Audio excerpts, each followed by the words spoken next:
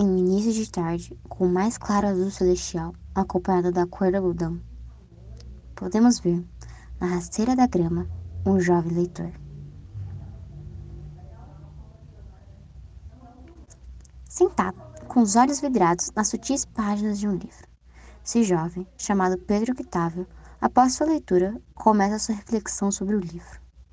Então, virando-se ao outro lado, encontra-se em degraus, dirigidos a uma construção cintilante, sem motivos aparentes.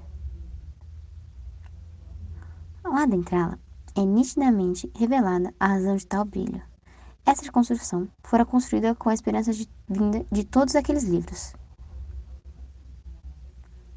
Não somente deles, mas também daquelas pessoas que se abrigam sobre a biblioteca. Ao percorrer esse lugar, são vistos mais dois jovens acadêmicos, um deles, conhecido por todos como Rogério Feitosa, buscava aprofundamento de seu vasto conhecimento com a obra literária O Guarani, nos profundos mares da internet. Ao fundo, via-se outro jovem estudante, Matheus Narciso, sentado e com uma caneta em mãos, passando determinadamente de linha a linha seus recentes estudos.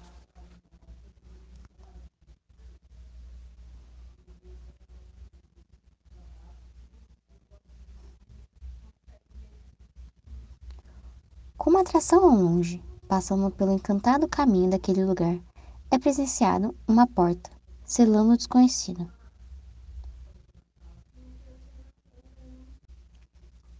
Contudo, com a força impetuosa de uma tempestade, mas com a sutileza de um grão de pólen, um vento passa abrindo a porta, revelando uma jovem com um livro em mãos, chamada Adriele Moraes, aquele que vos narra, com maestria, tais eventos. A obra começa com a descrição da casa do fidalgo português Dom Antônio de Maris, que mora no interior de Janeiro, junto com a sua família.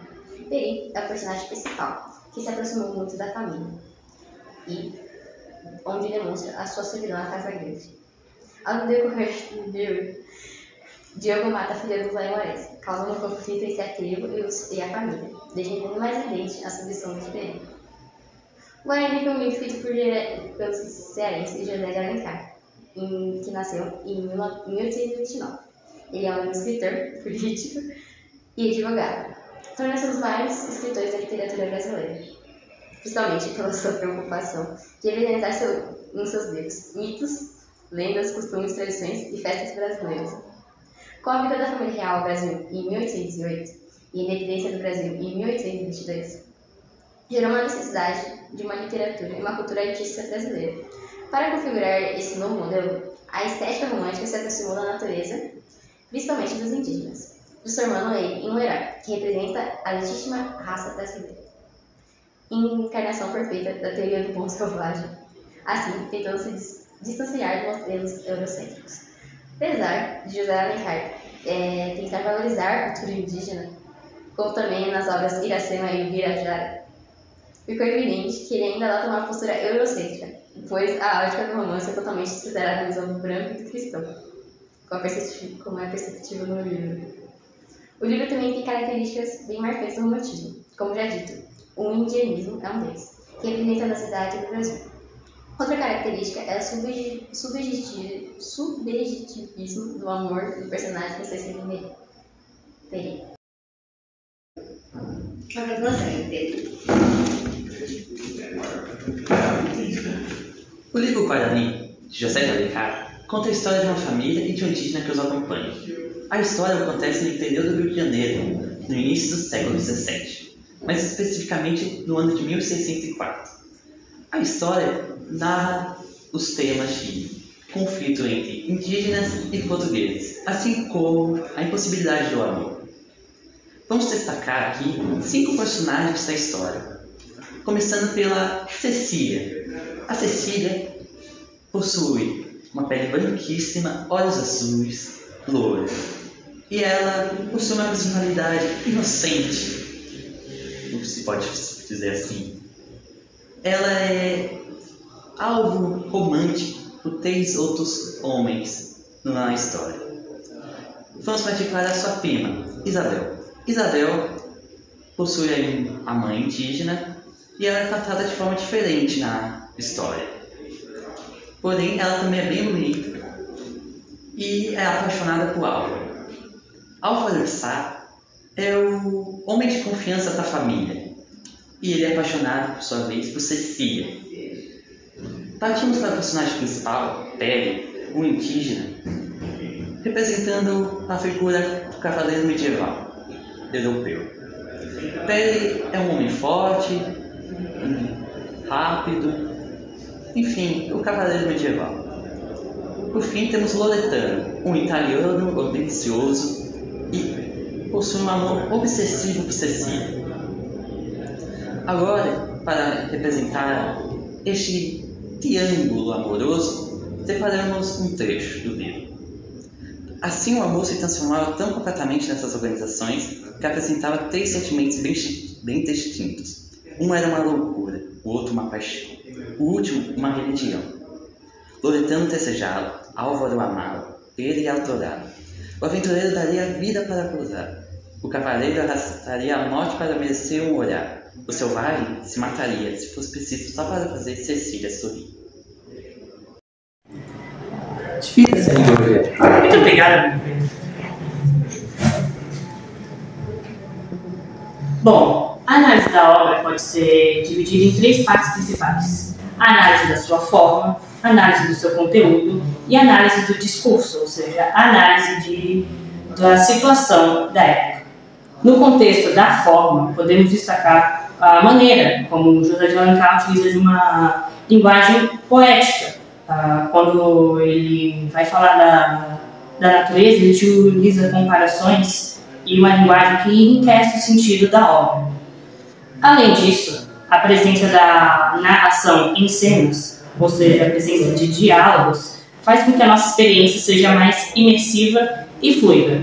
Outra coisa que também é importante destacar é o fato do tempo não ser completamente linear, pois muitos fatos precisam ser costurados ao enredo. Isso faz com que o narrador ele coloque algumas peças que vão ser encaixadas uh, ao longo do texto.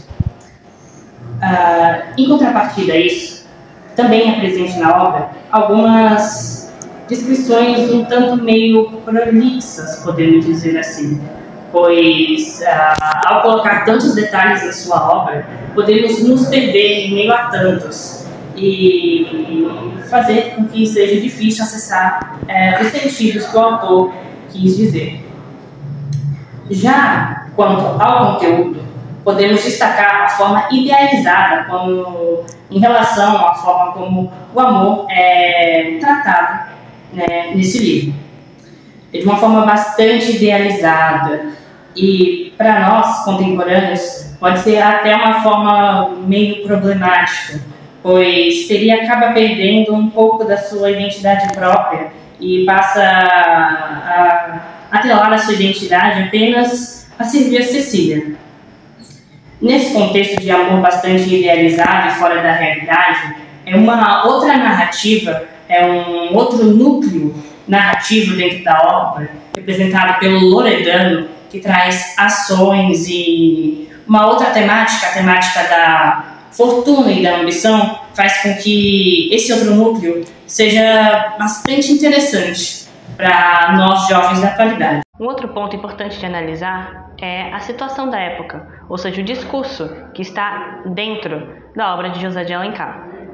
Nesse sentido, é importante ressaltar que, por ter sido publicado originalmente como um folhetim, o autor faz uso de recursos para chamar a atenção nossa, chamar a atenção do leitor, pois a nossa atenção também é vendida. Além da nossa atenção ser vendida, também o autor também vende uma ideia de amor bastante idealizado. Nesse sentido, acontece uma espécie de embranquecimento de Peri, pois ele é tratado como com características uh, bastante marcadas de cavaleiros medievais. E a Cecília também é tratada como uh, um companheiro romântico de tais cavaleiros.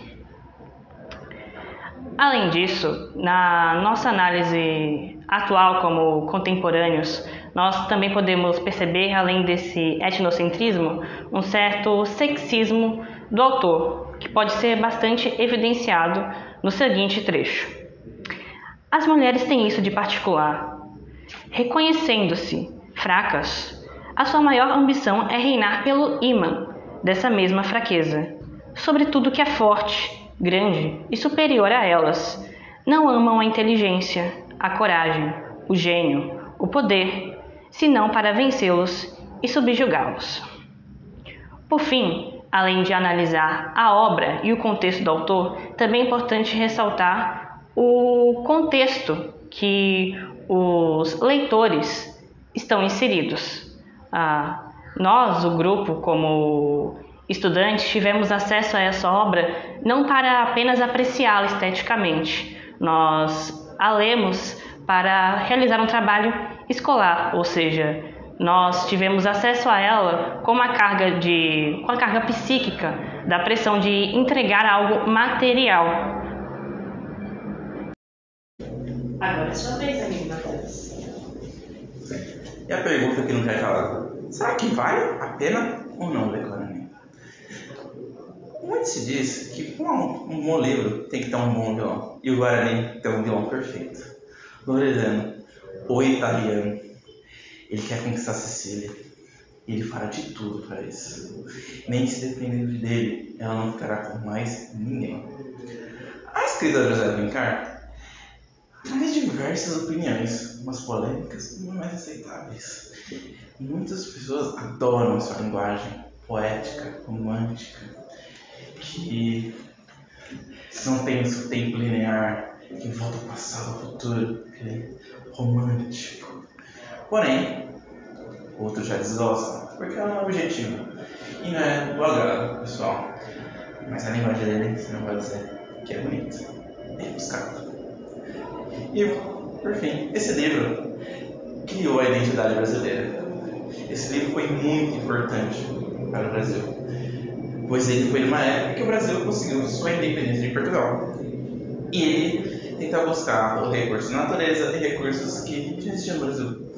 Então, ele é um livro que cria uma identidade para o Brasil naquela época. Então, com certeza vale a pena ler esse livro.